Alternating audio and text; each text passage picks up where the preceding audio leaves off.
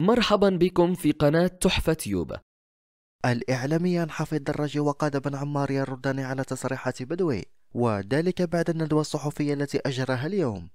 البداية مع الإعلامي قادة بن عمار الذي كتب عبر صفحته الرسمية قائلا لغة ركيكة وإجابات خشبية جامدة. نور الدين بدوي ليس تكنوقراطيا بل بيروقراطي بامتياز. وهو يتحدث الآن ويردد كلمة ميكانيزمات ميكانيزمات. يا ودي يتكلم عن ميكانيزمات رحيلكم أحسن للبلاد والعباد.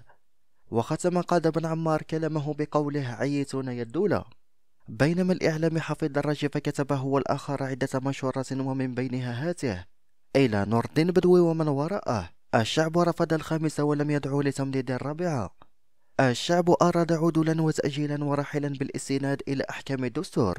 وليس تمشيا مع أهواء السعيد الذي نصبك للاستمرار في التحايل علينا كما أضاف الدراجي في منشور آخر عبر صفحته وقال فيه الندوة الصحفية للوزير الأول طغت عليها لغة الخشب رغم وضوح أسئلة الصحفيين لم يجب فيها على أي سؤال لأنه أصلا لا يملك الأجوبة التي هي بحوزة السعيد بوتفليقة فقط.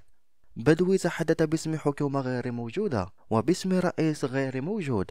سيصبح لا شرعيا بعد انتهاء ولايته. كما ختم الدراجي كلامه بقوله بدوي كشف اليوم عن ارتباك كبير تعيشه الجماعة. بعدما فقد ثقة شعبها الذي رفض الخميس ويرفض تمديد الربيع وقراره سيد. فما رأيك في تصريحات بدوي ورد الإعلام حفيظ الدراجي وقاد بن عمار؟ ننوه أيضا أنه يجب على الشعب المحافظة على السلمية لأنها المخرج الوحيد للشعب. هي مرحلة تستوجب التأني والتعقل ووضع مصلحة الجزائر أولا وفوق كل اعتبار للخروج بنتيجة إيجابية. وبإذن الله سيصل الشعب لكل ما يريده بهدوء أكثر فقط من الدعاء والقادم أفضل بإذن الله. لا تنسى الضغط على زر الإعجاب إذا كنت مع تغيير السلم وضد التخريب. كما لا تنسوا الاشتراك ومشاركتنا بآرائكم في التعليقات وشكرا.